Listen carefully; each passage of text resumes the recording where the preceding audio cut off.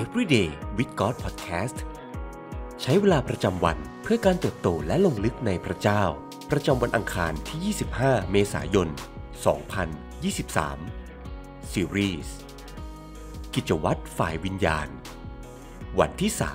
3 การสารภาพบาป และการกลับใจ 1 ยอนบทที่ 1 ข้อ 9 ถ้าเราสารภาพบาปของเรา พระองค์ทรงซื่อสัตย์และเที่ยงธรรม ก็จะทรงโปรดยกบาปของเรา และจะทรงชำระเราให้พ้นจากการอาธรรมทั้งสิ้น เราต่างล้วนเป็นคนบาป เราต่างเคยผิดและทำพลาด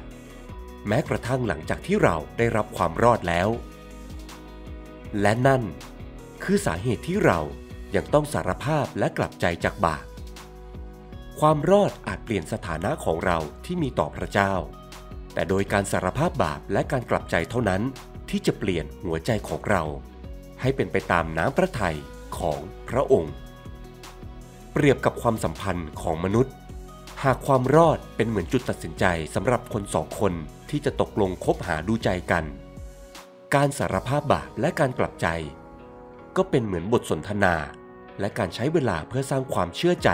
และความสนิทสนม ก่อนที่ทั้งคู่จะตกลงเป็นแฟน การสารภาพและกลับใจจากบาปคือการเรียนรู้ว่า อะไรคือสิ่งที่ทำให้ใจของพระเจ้าสลาย โรม บทที่ 2 ข้อ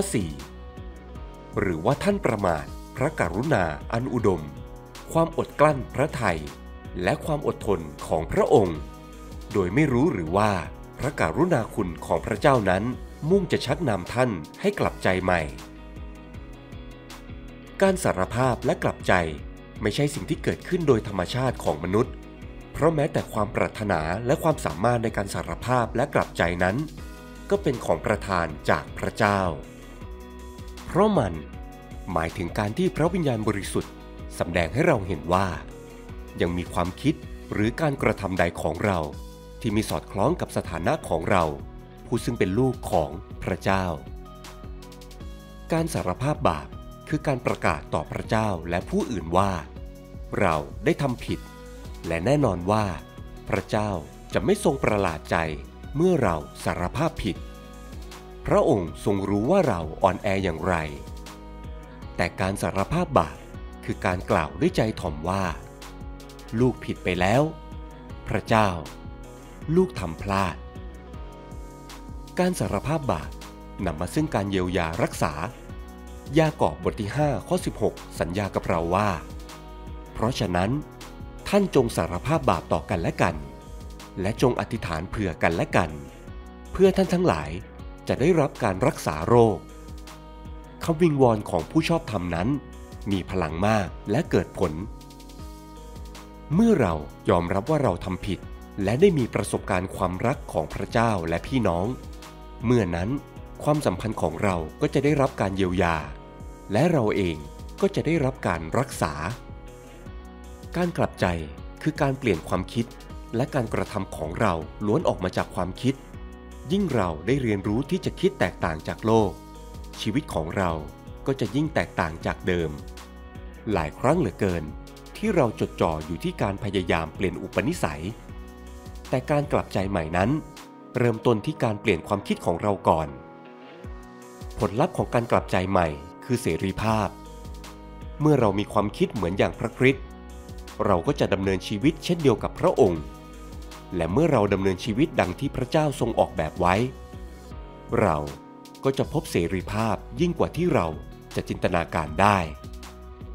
เรามีเสรีแล้วจากวิธีคิดและการกระทำแบบเดิมๆ และมีเสรีที่จะสัมผัสความชื่นชมยินดีและสันติสุขในการทรงสถิตของพระบิดาในสวรรค์ นี่คือเหตุผลว่าทำไม การสารภาพบาปและการกลับใจใหม่ จึงเป็นกิจวัตรฝ่ายวิญญาณที่เราควรทำเป็นประจำ เพราะมันช่วยปลดปล่อยเราให้มีชีวิตแห่งสันติสุขในพระเจ้าและผู้อื่น มัทธิวบทที่ 4 ข้อ 17 ตั้งแต่นั้นมา พระเยซูทรงตั้งต้นประกาศว่า จงกลับใจใหม่ เพราะว่าแผ่นดินสวรรค์มาใกล้แล้ว สิ่งที่ต้องใคร่ครวญในวันนี้ มีความบาปใดที่เราจำเป็นต้องสารภาพในเวลานี้หรือไม่ สารภาพความผิดนั้นต่อพระเจ้าก่อน แล้วจึงบอกเพื่อนคริสเตียนที่เราไว้ใจ เรารู้สึกอย่างไรก่อนและหลังการสารภาพความบาป การสารภาพสิ่งที่อยู่ในใจช่วยเยียวยารักษาเราได้อย่างไรบ้าง เราจะตอบสนองอย่างไร เพื่อเป็นการกลับใจใหม่ต่อความบาปนั้น ความคิดใดที่เป็นสาเหตุของความบาปนั้น เราจะเปลี่ยนวิธีคิดเพื่อก้าวต่อไปอย่างมีเสรีภาพได้อย่างไรบ้าง ให้เราอธิษฐานด้วยกัน พระเจ้าที่รัก เราขอบคุณพระองค์ผู้ทรงรักเราอย่างไม่มีเงื่อนไข ขอบคุณที่แม้เราจะล้มลงและผิดพลาด พระองค์ยังทรงเปี่ยมด้วยพระคุณที่สดใหม่เสมอ ขอทรงประทานกำลังที่เราจะก้าวต่อไปในพระคุณด้วยความถ่อมใจ ให้เรา